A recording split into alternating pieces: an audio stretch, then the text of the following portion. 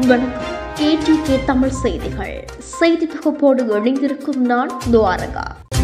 முதலில் தலைப்புச் செய்திகள். அத்தியாவசிய பொருட்கள் சிலவற்றின் விலை குறைப்பு. இனியும் ஆட்சி மாற்றம் கோரி போராடினால் முப்படையினரை கொண்டு அடக்குவேன். நாடாளுமன்றில் ரணில் எச்சரிக்கை. தேர்தல் தொடர்பில் ஜனாதிபதி வெளியிட்டுள்ள முக்கிய தகவல். ஆசிரியர்களுக்கு கடுமையான கட்டுப்பாடு. கல்வி அமைச்சு அதிரடி அறிவிப்பு. இலங்கையில் மாமியாரை கொடூரமாக கொலை செய்த மருமகன். தொடர்பான விரிவான செய்திகள். அத்தியாவசிய பொருட்களின் விலைகளை லங்கா சுதோஸ் நிறுவனம் நாளை முதல் குறைக்க தீர்மானித்துள்ளது. அதன்படி ஒரு கிலோகிராம் வெள்ளி சீனியின் விலை ஒன்பது ரூபாவால் குறைக்கப்பட்டு ஒரு கிலோகிராம் வெள்ளி சீனியின் புதிய விலை இருநூற்று இருபத்தி ஒன்பது ரூபாவாக நிர்ணயிக்கப்பட்டுள்ளது. ஒரு கிலோகிராம் கோதுமை மாவின் விலை பதினான்கு ரூபாவினால் குறைக்கப்பட்டுள்ளதுடன் அதன் புதிய விலை இருநூற்று அறுபத்தைந்து ரூபாவாக்கப்பட்டுள்ளது. ஒரு கிலோகிராம் பூண்டு முப்பது ரூபாவால் குறைக்கப்பட்டு அதன் புதிய விலை நானூற்று தொன்னூற்றி ஐந்து ரூபாவாக நிர்ணயிக்கப்பட்டுள்ளது. ஒரு கிலோகிராம் பெரிய வெங்காயம் நாற்பத்தி மூன்று ரூபாவால் குறைக்கப்பட்டுள்ள நிலையில் ஒரு கிலோகிராம் பெரிய வெங்காயத்தின் புதிய விலை இருநூற்று ஐம்பத்தைந்து ரூபாவாக்கப்பட்டுள்ளமை குறிப்பிடத்தக்கது. இலங்கையில் போராட்டத்தினூடாக மற்றொரு ஆட்சி மாற்றத்திற்கு இடமளிக்கப் போவதில்லை என்று ஜனாதிபதி ரணில் விக்ரமசிங்கே தெரிவித்துள்ளார். நாடாளுமன்றத்தில் இன்று உரையாற்றும் போதே அவர் மேற்கொண்டவாறு கூறியுள்ளார். அவர் மேலும் தெரிவித்ததாவது இனியும் ஆட்சி மாற்றம் செய்வதற்காக போராட்டத்தில் யாரும் ஈடுபடுவார்களாயின் முப்படையினரை பயன்படுத்தி அதனை கட்டுப்படுத்த நடவடிக்கை எடுக்கப்படும். கடந்த காலங்களில் நாடாளுமன்ற உறுப்பினர்களின் வீடுகளுக்கு தீ வைக்கப்பட்டது. இது வன்முறை செயலாகும். அவ்வாறு தீ வைப்பதற்கு யார் அவர்களுக்கு அதிகாரம் வழங்கினார்கள். தீ வைத்தவர்களின் பின்னால் யார் செயற்பட்டார்கள் என்பதை கண்டறிய விசேட செயலணி ஒன்றை ஸ்தாபிக்க எதிர்பார்த்துள்ளோம். தேர்தல் முறைமையிலும் மாற்றம் ஏற்படுவது அவசியம். விருப்பு வாக்களிப்பு முறை இருக்கும் வரையில் ஊழல் இடம்பெறுவதற்கான வாய்ப்புகள் அதிகமாகும் என கூறியுள்ளார். நாட்டில் ஏற்பட்டுள்ள பொருளாதார நெருக்கடிக்கு தீர்வு காணாமல் தேர்தலுக்கு செல்வது சாத்தியமில்லை என ஜனாதிபதி ரணில் விக்ரமசிங்கே தெரிவித்துள்ளார். பொருளாதார பிரச்சினை முடிவடைந்த பின்னர் தேர்தலுக்கு செல்ல முடியும் என நாடாளுமன்றத்தில் இன்று உரையாற்றும் போது தெரிவித்துள்ளார்.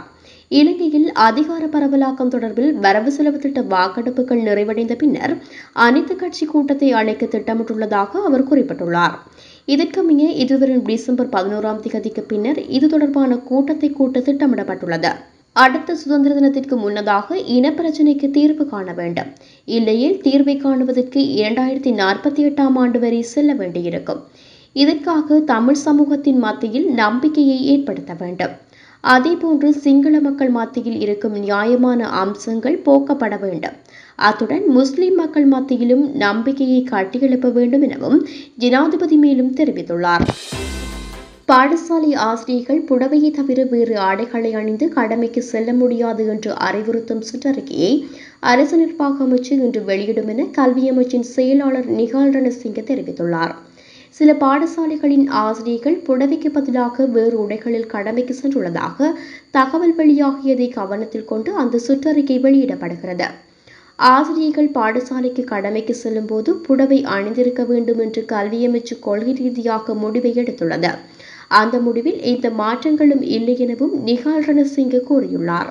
அனைத்து அரசு நிறுவனங்களிலும் பணிபுரியும் பெண்கள் தமக்கு பொருத்தமான ஆடைகளை அணிந்து கடமைக்கு வர முடியும் என வெளியிடப்பட்டுள்ள சுற்றறிக்கையை தன்னிச்சையாக மாற்ற நடவடிக்கை எடுத்தால் அதற்கு எதிராக நீதிமன்றத்திற்கு செல்லப்போவதாக இலங்கை ஆசிரியர் சங்கத்தின் செயலாளர் ஜோசப் ஸ்டாலின் தெரிவித்துள்ளார். ஆசிரியர் தொழிலில் ஈடுபட்டு வரும் அனைத்து ஆசிரியர்களுக்கும் அல்ல. விரும்பு ஆசிரியர்கள் தாம் விரும்பிய ஆடையில் பாடசாலைக்கு வர இடமளிக்கப்பட வேண்டும் என எமது சங்கம் கோரிக்கை விடுத்தது. ஆண்கள் சிலர் இணைந்து பெண்களின் ஆடைகள் குறித்து முடிவை எடுப்பது கேலிக்குரிய விடயம் எனவும் ஸ்டாலின் குறிப்பிட்டுள்ளார். நுவரேலியாவில் மாமியாரை கொடூரமாக கொலை செய்த மருமகனை போலீசார் கைது செய்துள்ளனர். இந்த சம்பவம் வெலப்பண்ணை கலகவத்தை பகுதியில் நேற்று இடம்பெற்றுள்ளது. ஐம்பத்தொன்பது வயதான டபிள்யூஜி ரணசிங்க என்ற பெண்ணை உயிரிழந்ததாக போலீசார் தெரிவித்துள்ளனர். முக்குணாப்பட்டிய கலகவத்தி பகுதியில் உலக உணவு தோட்டத்தில் நிவாரணப் பொருட்கள் பகிர்ந்தளிக்கப்பட்டன. அதனை பெற்றுக்கொள்ள மகள் மருமகன் மாமி ஆகிய மூவரும் வந்துள்ளனர்.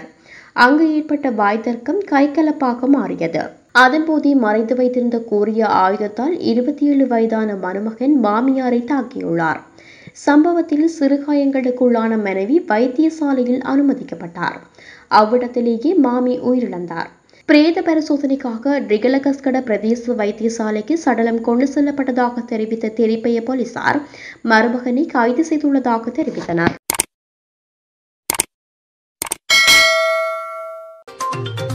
இத்துடன் நிறைவடைகின்றன. கேடிகே செய்திகள்.